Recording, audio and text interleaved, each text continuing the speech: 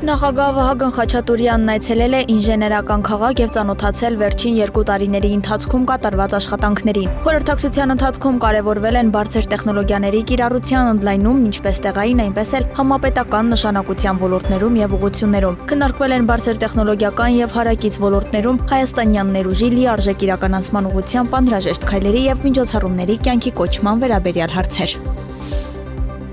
Տալինում արտաքին գործերի նախարար Արարատ Միրզոյանը մասնակցել է կլոր սեղան քննարկման Էստոնիայի պաշտպանության եւ անվտանգության միջազգային կենտրոնում։ Նախարար Միրզոյանը հանգամանալից ներկայացրել է Հարավային Կովկասում արկա անվտանգային իրավիճակը, վերջին շրջանի զարգացումներն ու միտումները։ Արտաքին քաղաքական գերտեսչության ղեկավարն ընդգծել է տարածաշրջանում կայունության եւ երկարատև խաղաղության հաստատման հարցում Հայաստանի տեսլական անդրադարձ է կատարվել Թուրքիայի հետ հարաբերությունների կարգավորման գործընթացին, ինչեւ որս ծավալված երկխոսության միջոցով ձեռք բերված պայմանավորվածություն գործողություններին, դրանց իրականացման կարևորությանը։ Անդրադառնալով Հայաստան-Ադրբեջան հարաբերությունների կարգավորման գործընթացին նախարար Միրզոյանը շեշտել է խաղաղության պայմանագրի կնքման 1991 թվականի Ալմաթայի հռչակագրի հիման վրա համանազատման գործընթացը շարունակելու կարևորությունը։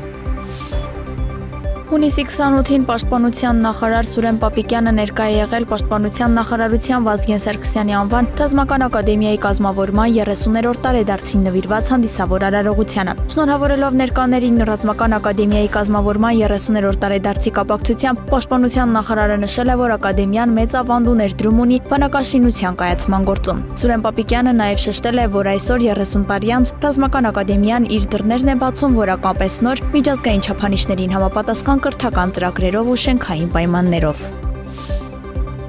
Եվրախորհրդարանի բոլոր խմբակցություններից մի խումբ պատգամավորներ հանդես են եկել համատեղ հայտարարությամբ՝ ի պատասխան հայ-ֆրանսիական ռազմական գործակցության վերաբերյալ Ադրբեջանի եւ Ռուսաստանի բացասական արձագանքին ու քննադատություններին։ Պատգամավորներն ընդգծել են, որ ժամանակակից զինտեխնիկայով սպառազինված եւ մարտունակ բանակ ունենալը ցանկացած երկրի ինքնիշխան իրավունքն է։ Ռուսաստանի ու Ադրբեջանի ռեժիմների կողմից Հայաստանի հասցեին հնչեցված մեղադրանքները եւս մեկ անգամ փաստում են, որ երկու երկրների միջև արկա է դավադրություն, որը դեռ 2023 2023 թվականի սեպտեմբերին հանգեցրել էր Լեռնային Ղարաբաղի ավելի քան 140 000 հայերի էթնիկ զտմանը, նշել են Եվրոպական խորհրդարանի պատգամավորները։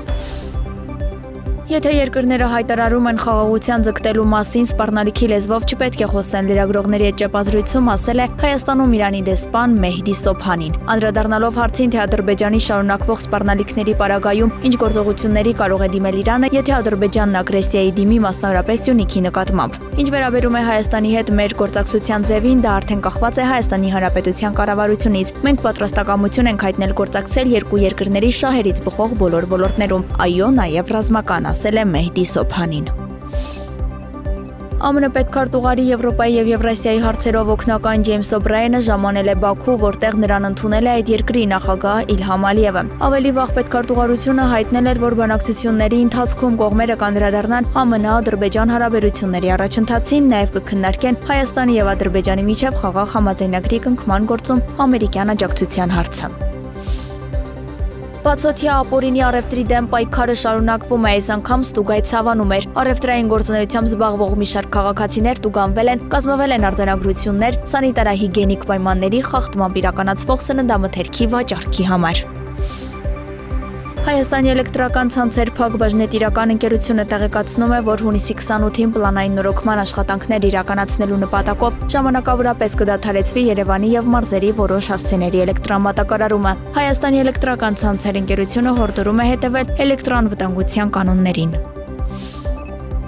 Վիոլիա ջուրընկերությունը տեղեկացնում է իր հաճախորդներին եւ սպառողներին, որ արձնի երկու ջրատարի վրա տեղի ունեցած վթարի վերացման աշխատանքներով պայմանավորված հունիսի 28-ին ժամը 9-ից մինչև հունիսի 29-00-ն կդադարեցվի Կիլիկիա թաղամասի Իսակով 2-ից 10 շենքերի ջրամատակարարումը։ Ընկերությունը հայցում է սպառողների ներողամտությունը պատճառված անհանգստության եւ կանխավ շնորհակալություն հայտնում ըմբռնման համար։